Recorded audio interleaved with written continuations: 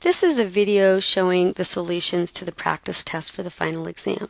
All right, number one, we need to do the distributive property. So we need to distribute the 2 across. So 2 times 4x is 8x minus 2 times 5 is 10.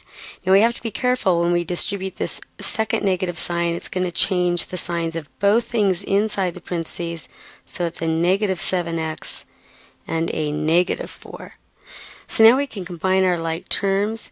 8x minus 7x is 1x, or x, and negative 10 and negative 4 is going to be negative 14. So the answer to 1a is x minus 14. Okay, for number 2, we have to work within these brackets first. So I have to just write the 5 and the brackets.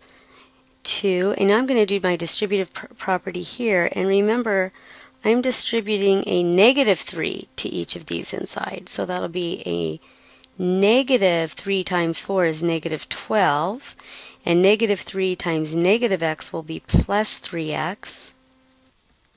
So I've done my distributive property, and then I also have this minus 7x. The minus sign here is not being distributed over here. It's only over what's in the parentheses.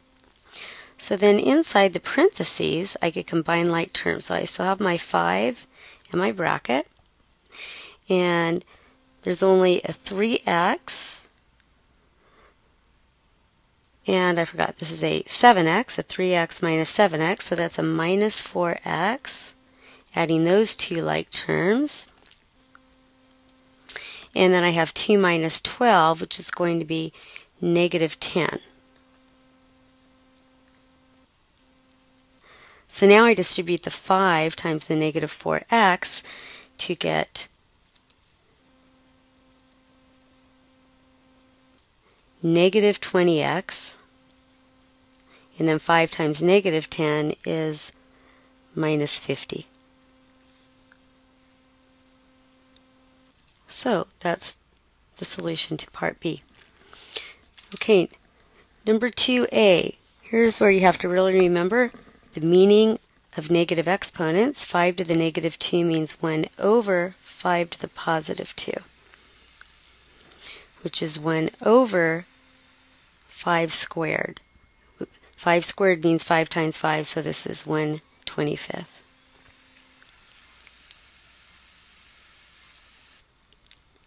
All right, let's go to the second part. Here we have in parentheses a negative 5. That's to show that we're squaring the negative 5. So we have negative 5 times a negative 5, which is positive 25. Okay, for part C, there's a minus sign here, but it's not in parentheses. So only the 5 is being squared. That negative really is the same thing as writing negative 1 times 5 squared. And 5 squared is 5 times 5. So that would be negative 25.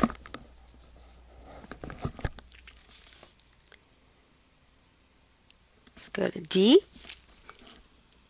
In parentheses, we have negative 5, and that's raised to the 0 power. Anything to the 0 power is equal to 1. So this is just 1. Whereas for part E, again, the minus sign is not to the 0 power. That's out in front. So we have a negative 1 times 5 to the 0, which is negative 1 times 1, which is negative 1. All right, let's go up to F. Again, 2 to the negative 3 means 1 over 2 to the positive 3. And 2 cubed is 2 times 2 times 2, or 8. Remember, it's not 2 times 3. Right here we have a negative 2 to the third power, so that means the base is negative 2 since it's in parentheses. So we have negative 2 times negative 2 times negative 2, which is negative 8. But for h, we've got a minus sign not in the parentheses. So that's a negative 1 times 2 cubed, which is 2 times 2 times 2. So that's negative 8. For part I, I have a negative 5 as the base, and that's going to the negative 2 power. So first, I have to write that as 1 over negative 5 to the positive 2 to get the positive exponent. And then we already did a negative 5 squared over here in part B. That's 25 because that's what negative 5 times negative 5 is. So this is 1 25th. And let's see. For part J, same thing. The base is negative 2, so I have to first write the base negative 2 in the denominator to the positive 3. And that means 1 over, well, what's negative 2 times negative 2 times negative 2? That's going to be negative 8. Now, you could write that as negative 1 eighth as opposed to 1 over negative 8. All right, let's go on to number 3. Evaluate when x equals negative 5 and y equals negative 2. There's more than one way to do this. I like to write this as what y squared means, which is y times y, and x cubed is x times x times x, and then plug in the values of y and x. So y is negative 2, so this is negative 2 times negative 2 minus x is negative 5, so it's negative 5 times negative 5 times negative 5. So now I'm going to do my order of operations. So we have to do the multiplication of both of those first, giving 4, that's negative 2 times negative 2, minus, now, three negatives multiplied together are going to be a negative, and 5 times 5 times 5 is 125.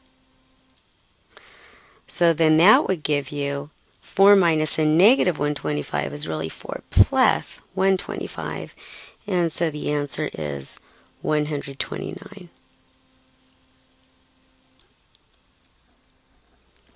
Okay, let's do B. We're going to put in negative 5 for x, so 3 times negative 5 times y is negative 2 plus 9 times and x is negative 5. So that's going to give me, this will be a positive, 3 times 5 times 2 is 30, plus negative 45, which is negative 15.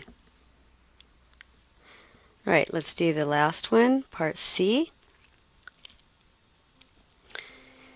In parentheses, we're going to put 3 minus whatever x is. And x is negative 5, so it's 3 minus negative 5 squared, which is the same thing as 3 plus 5. So I have 8 squared, which is 8 times 8, or 64. All right, so those are the answers to number 3. Number four, solve each formula. Well, that first one should look really familiar. ax plus by equals c. That's the equation of a line in standard form. If we solve for y, we're going to have it in slope-intercept form. So first we want to subtract ax from both sides because we want to isolate the part where the y is. So I want to subtract ax from both sides. So that's going to give you by equals c minus ax. And now b is just the coefficient of y. So you want to divide both sides by b to get y equals c minus ax over b. And you could also write that as c over b minus a over bx. if you want to split the numerator over each over the denominator. All right, the next one is solving for y. Here y is inside the parentheses. There are a couple ways to do this. One of them would be to simply get rid of the fraction first, which is probably easiest by multiply both sides by 2 to cancel that 2. So I get 2a equals x plus y. And now all I have to do is subtract x from both sides. So 2a minus x equals y. So I could say y is 2a minus x. There are other ways to get the answer, but that's one way.